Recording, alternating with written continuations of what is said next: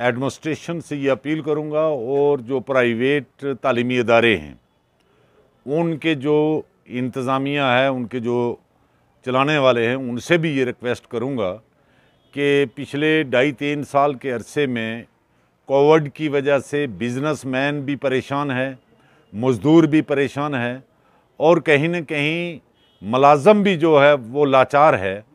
जो आमदन थी वो बहुत कम हो गई है और एक तरफ़ घर चलाना मुश्किल है, दूसरी तरफ़ बच्चों के अखराज और बिला वजह के अखराज चूँकि गवर्नमेंट का जो तालीमी अदारों को बंद रखने का फ़ैसला था, ये बिल्कुल सरासर गलत था और उस वजह से बच्चों का तालीमी नुकसान भी बहुत हो चुका है।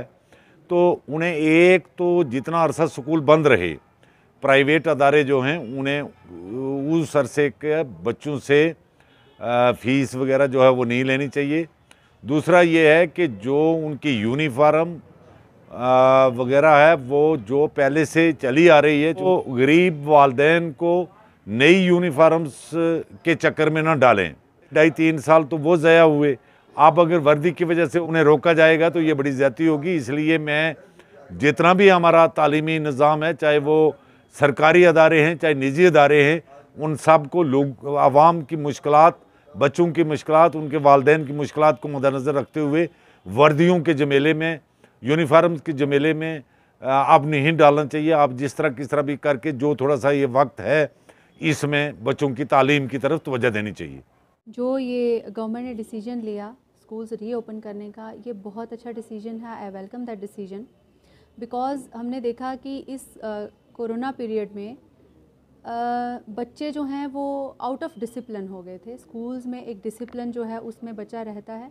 वो घर में उनका ख़त्म हो गया था। स्टडी लेवल जो है वो बड़ा लोअर ग्रेड का जो है वो हो गया था।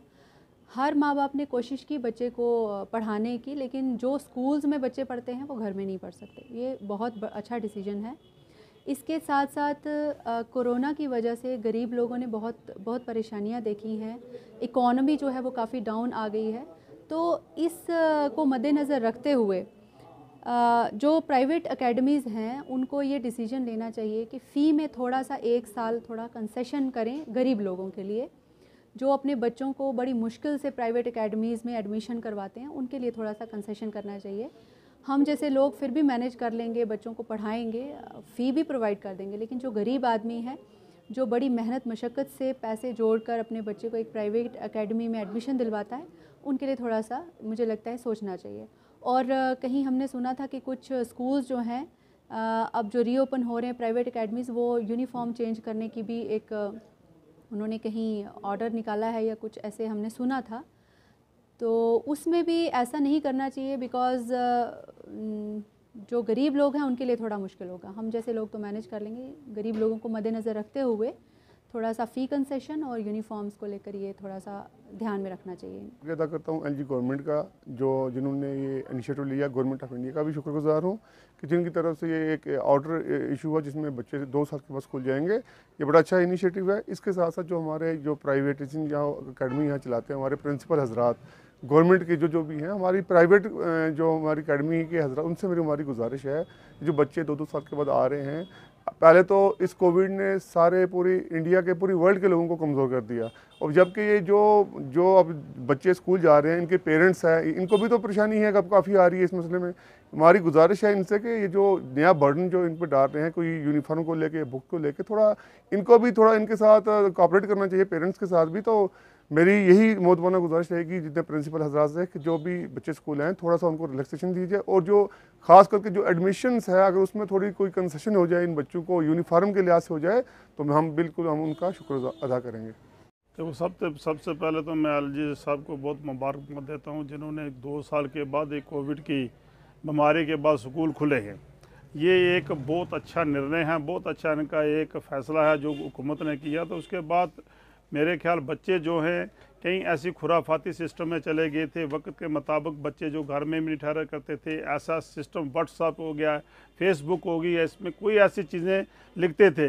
पर वो ये प्रॉब्लम पड़ते थे कि स्कूल बंद थे। मैंने पहले भी गुजारिश की थी एडमिनिस्ट्रेशन से, बल्कि सेंटर से भी की थी कि स्कूल खोले जाएँ। अब स्कूल खुले स्कूल खुलने के बाद अगर स्कूल वालों ने कुछ ऐसी चीज़ें डिमांड्स रखी हैं, मेरे ख्याल इस सेशन में मत रखें। सेशन नेक्स्ट सेशन आएगा तो सुखद सुखद बच्चे जो हैं, वो खुद बुखुद अपने सिस्टम पर चलना चलना शुरू हो जाएँगे। ये एक सिस्टम होता है। अगर दो साल के बाद कोई भी स्कूल या कोई भी इंस्टीट्यूशन खुलता है या अगर खुलने, खुलकर वो आगे आने की कोशिश करता है बच्चा, बच्चों को स्कूल आने दें, बच्चे स्कूल में आए, अपना सिस्टम पर पूरे बैठे, एक डेकोरम सीखें डिसिप्लिन सीखें, ये चीज़ है। मैं प्राइवेट स्कूल हो गए गवर्नमेंट स्कूल होकर मैं एक रिक्वेस्ट करता हूँ अगर हमने इतनी दरीना मांग को काफ़ी देर से डिमांड करते रहे और मीडिया के मुताबिक से और दो लोगों को जाकर कहते हैं कि स्कूल खोलो स्कूल खोलो बच्चे जो हैं वो ख़राब हो रहे हैं बच्चे कहीं ऐसी ऐसी ऐसी चीज़ों पे पड़ गए हैं जिसमें वो वापस आने वाले नहीं अगर अल, इस वक्त हुकूमत अजीत साहब ने एडमिनिस्ट्रेशन हमारा साथ दिया तो स्कूल वाले क्यों ऐसी बात कर रहे हैं कि करता हूँ उन स्टाफ के वालों को कि आप बच्चों को डिसिप्लिन सिखाएँ बच्चे किसी लाइन स्ट्रीम पर लगाएँ। जब बच्चे स्ट्रीम पर आ जाएँगे, किसी लाइन पर आ जाएँगे, उसके बाद आपका सिस्टम जो है नेक्स्ट सीज़न में बनाएँ, ताकि आने वाला जो सिस्टम सेशन है, उस सेशन में अच्छे तरीके से बच्चे बनाने की कोशिश करें। आप सबसे पहले सरकार का शुक्रिया अदा करता हूँ, जिन्होंने जो स्कूल रीओपनिंग का जो ये एक स्टेप जो है वो उठाया अभी देखा जाए तो कोविड के जो केसेस हैं, थोड़े दिन से जो कम आने शुरू हुए हैं। सरकार ने ये एक अच्छा स्टेप उठाया है कि ये जो काफ़ी अर्सा से जो स्कूल जो बंद चल रहे थे, क्योंकि बच्चों का भी देखा जाए तो ऑनलाइन क्लासेस जो हैं और फिज़िकली क्लासेस में बहुत अंतर होता है। तो ये एक अच्छा स्टेप है। बच्चे भी पिछले दो, ढाई साल से जो है जो काफ़ी ऑनलाइन से पूरा अपना काम जो है, नहीं पूरा कर पा रहे पा रहे थे। और जहाँ तक आपने ये पूछा एक सवाल कि जो स्कूल की यूनिफॉर्म की चेंजेस का जो है इशू है, मैं ये समझता हूँ कोविड से अभी तक जो लोग हैं, वो पूरी तरह बाहर नहीं आए। बिज़नेस में बहुत फ़र्क पड़ा है। जो दिहाड़ीदार आदमी है, जिसने अपने बच्चे स्कूल में डाले हुए हैं, उनके लिए ये एक बहुत बड़ा प्रॉब्लम का इशू रहेगा। अगर उनके लिए इतना बर्डन जो है एकदम बढ़ जाएगा मैं समझता हूँ कि अभी स्कूलों को ऐसा कुछ स्टेप नहीं लेना चाहिए। जैसे उनका पहले से सिस्टम चल रहा था, वैसे ही चलाए। जब तक थोड़ा सा ये चीज़ें जो नॉर्मल नहीं होती, तब तक इसको ऐसे ही चलाना चाहिए। और अभी इस चीज़ के ऊपर कोई इतना फोकस नहीं करना चाहिए कि इसको यूनिफॉर्म या और किसी बर्डन जो है पेरेंट्स के ऊपर डाला जाए। मैं सभी स्कूल के जो ऑनर्स हैं, उनसे यही रिक्वेस्ट करूँगा कि इस इशू को अभी जो है पीछे ही रखा जाए। ताकि जो नॉर्मल तरीके से बच्चे अपने स्कूल में आ सके, अपनी रूटीन में आ सके और पेरेंट्स पे भी जो है बर्डन ना पड़े। थैंक